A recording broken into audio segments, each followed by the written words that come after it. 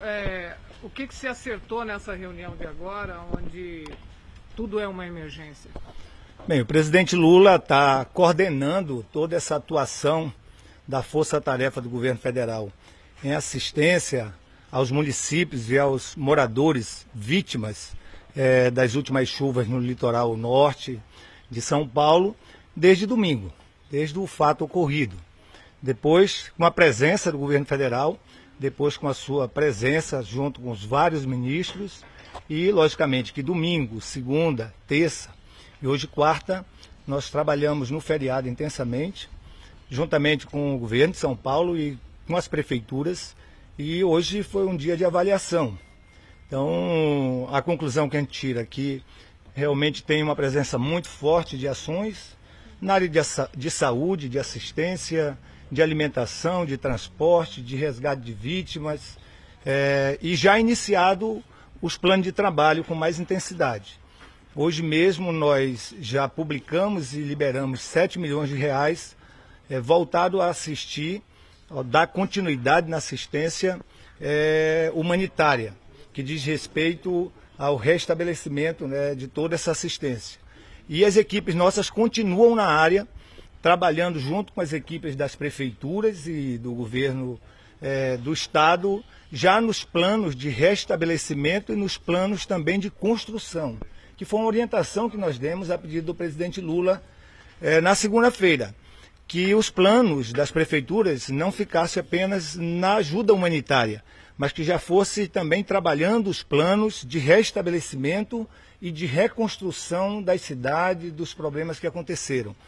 E hoje nós avaliamos que realmente isso está acontecendo. Provavelmente no dia de hoje a gente já começa a receber mais planos já dos municípios, o que dá condições do Ministério da Integração e Desenvolvimento Regional seguir com o seu compromisso na resposta, no restabelecimento e na construção ou reconstrução é, dos danos causados em estrada, em pontes, é, em outras situações, em habitações. Obviamente que para a estrada tem uma equação ainda que precisa ser vista, uma vez que a estrada não é federalizada, é uma estrada de concessão e também estaduais. Então isso requer um cuidado mais refinado, é, de maneira que toda a orientação do presidente Lula aos ministros, agora sobre coordenação integral do Ministério da Integração e Desenvolvimento Regional, está sendo cumprido. Ministro, nós inclusive, nós inclusive estamos reforçando esse emprego de atuação a partir de amanhã. É, com um navio da Marinha, com quase mil profissionais marinheiros, dos quais 150 né, vão poder ajudar nas buscas também e vão poder ajudar nos resgates. Nós, nesse navio, além de helicóptero, é, também tem muitos profissionais de saúde, tem muitos profissionais para é, buscar via é, marítimo é, a, no isolamento, uma vez que a atuação está muito forte nesses primeiros dias nas áreas de desobstrução de estrada, mas ainda tem muitos locais nas regiões que ficaram sem comunicação, ficaram sem transporte e agora com reforço da atividade marítima nós vamos poder chegar mais rápido. Isso com a orientação, inclusive, do presidente Lula na segunda-feira, na reunião com todos nós lá aí, o governo e as prefeituras, e que se traduziu já em hoje, Ministro, nessa resposta imediata. Ministro, a questão governo, do orçamento... O governo mandou 7 milhões para São Sebastião. São Sebastião não foi a única cidade atingida. Está previsto auxílio financeiro para alguma outra cidade? Olha, já, já durante o governo Lula, nós liberamos pela Defesa Civil 131 milhões de reais para todas as situações de emergência em vários cantos do país. Então isso é diário. Todos os dias nós liberamos recursos, com base nos planos de trabalho, no reconhecimento das emergências e também da calamidade. Especificamente no litoral norte de São Paulo, além de São Sebastião, a nossa equipe está trabalhando também com os outros prefeitos e à medida que nós formos recebendo os planos de trabalho, nós vamos liberando os recursos. A expectativa é que hoje a gente continue recebendo. Olha, nós estamos no quarto dia. Nós conseguimos no primeiro dia fazer reconhecimento sumário da calamidade pública.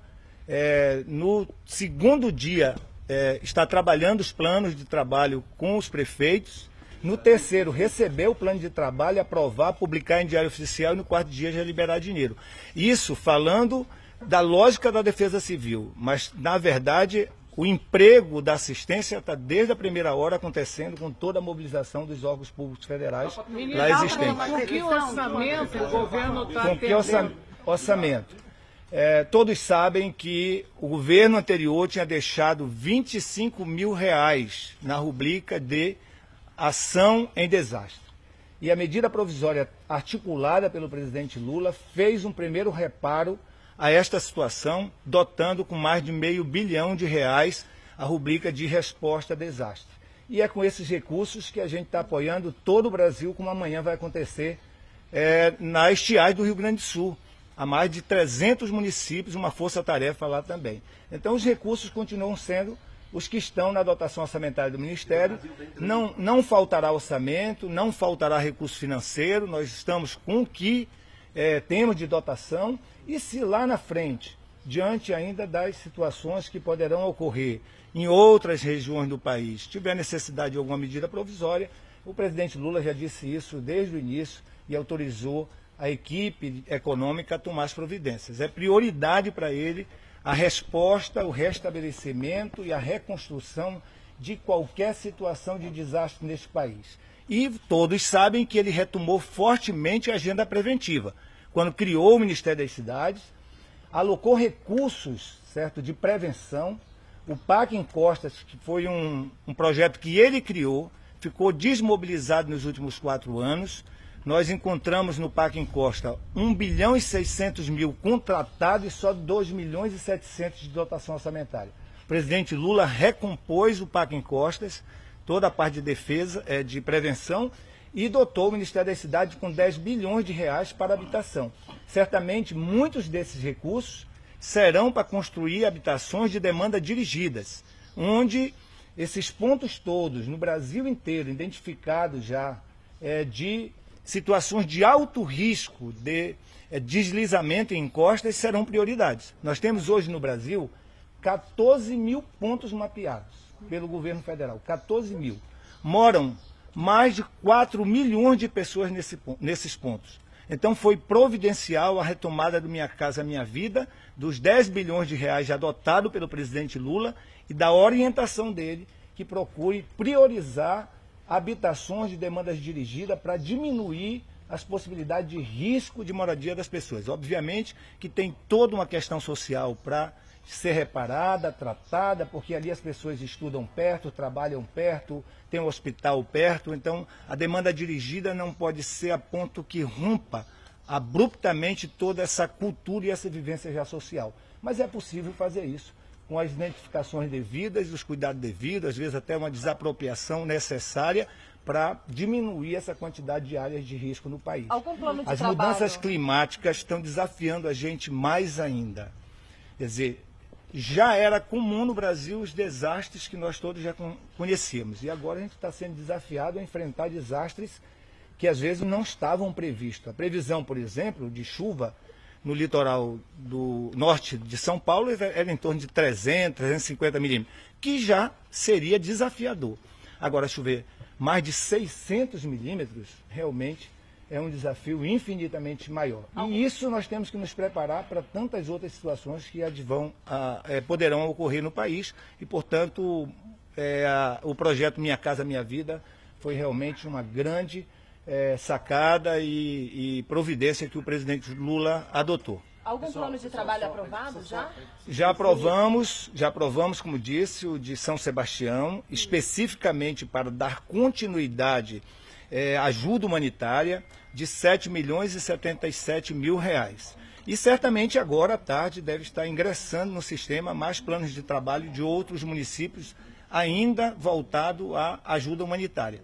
Mas concomitantemente, as nossas equipes estão trabalhando com as equipes das prefeituras, por orientação do presidente Lula, com relação também aos planos de restabelecimento e de reconstrução. Quer dizer, em regra, depois da ajuda humanitária, queria se trabalhar esses planos. Então, nós estamos sendo assim, muito rápido na resposta, muito organizado, e por isso que eu quero aqui é, diz, e, e, e, reforçando, tá? Lembre que amanhã o navio da Marinha vai estar na região e vai estar com mais emprego de pessoas, militares, de médicos nas mais diversas áreas, de é, é, lanchas, de é, mais aeronaves, para a gente também fazer abordagem em regiões que ficaram em isolamento e aumentar aí a questão do salvamento e, e, logicamente, da busca às pessoas que, porventura, ainda estejam precisando de assistência. Mas já dá para falar em valores, a demanda dirigida que o senhor fala, prioridade absoluta para essa região do norte de São Paulo? Acho que não só o norte de São Paulo, também no Rio de Janeiro tem situações bem desafiadoras, às vezes em Minas. É, o ideal é que o Ministério da Integração e Desenvolvimento Regional é, na transversalidade com o Ministério das Cidades e Defesa Civil, possamos hierarquizar essas, é, esses 14 mil pontos. Então tem que começar por algum lugar. Todos são necessários intervenção de alguma forma, se não de um conjunto habitacional que resolva, mas dá continuidade no Parque Encostas. O Parque Encostas, ele aumenta a segurança naquelas regiões. Então, quando o presidente Lula recompõe os recursos voltados ao Parque Encosta, já está retomando a política. O problema é que ficaram aí seis anos sem investimentos nessas políticas de prevenção certo? e nas políticas estruturantes. Então, se você não tem prevenção e também não cria políticas estruturantes para evitar esse tipo de ocupação, agravou o problema.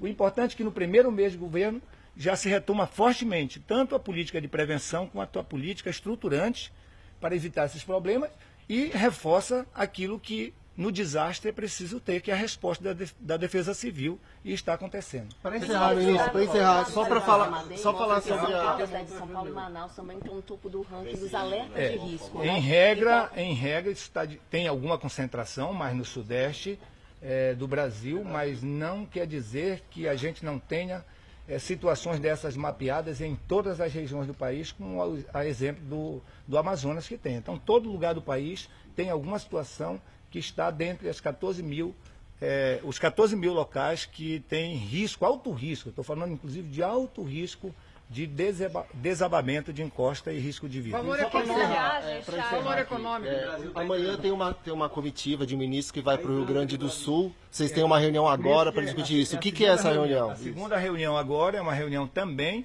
da força-tarefa do governo federal para tratar das medidas, ou dar continuidade, porque a gente já vem apoiando desde 1 de janeiro, é, a situação da estiagem no Rio Grande do Sul, para dar continuidade nessas ações que serão anunciadas depois pelo presidente Lula. Tem a ação do Ministério da Integração e Desenvolvimento Regional, do Ministério do Desenvolvimento Social, da Agricultura, da Agricultura Familiar, são de vários ministérios. Tem 300 municípios lá em situação de emergência decretada e já 200 reconhecidos por nós. Que tipo então, de ação? Pessoal, a gente vai voltar aqui ah, depois então. Tá. Depois a gente vai. Ministro, o senhor é